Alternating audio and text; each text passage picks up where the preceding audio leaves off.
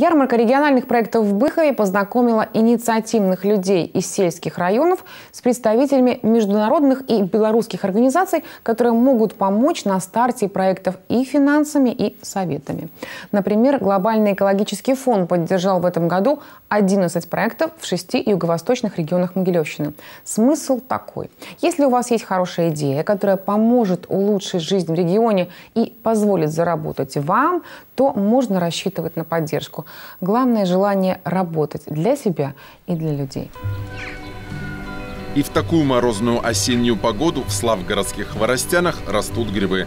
Правда, не под кедрами, а в здании сельской школы, закрытой несколько лет назад, а потом проданной на аукционе за одну базовую величину трем предприимчивым могилевчанам. Ну и здесь, собственно, находится наше основное пока грибное хозяйство, пока мы только исключительно в подвале. Прошу вас. Здесь у нас растут грибы. Пойдемте их смотреть сразу тогда и все вам расскажем и покажем. Константин Денисов, кстати, совсем недавно работал ведущим на радио Могилев. Сменил прямые эфиры на производство грибов, а вот радийные симпатии остались прежними. Здесь ловится только радио Могилев исключительно. Правда, не 96,4, а 102,7. В этой комнате где-то порядка 250 мешков а всего комнат три. В месяц фермерское хозяйство «Хворостяны Агро» производит тонну-полторы грибов. Работают на заказ, причем продают вешенки даже в Подмосковье.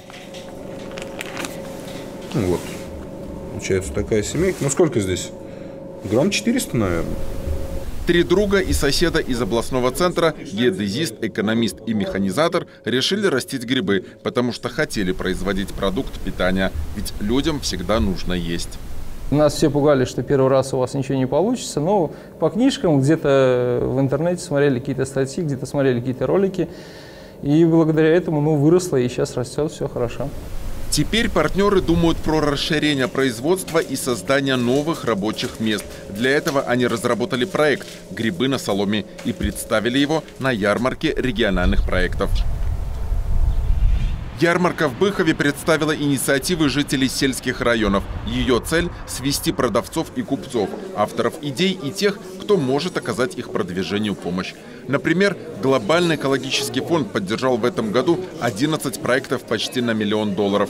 В 2018-2019 году мы ожидаем, что еще полтора миллиона долларов на безвозмездной основе будет выделено на вот эти регионы Могилевской области, 6 пострадавших от аварии на Чернобыльской АЭС. Они пойдут а так, также на социальные а, а, объекты, на их реконструкцию, восстановление и будут способствовать как решению экологических проблем, так и улучшению жизни людей в регионе.